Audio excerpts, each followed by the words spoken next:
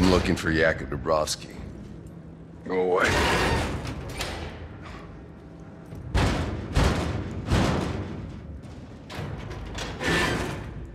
Listen, asshole. You got a gun pointed right at your... Ah! ah!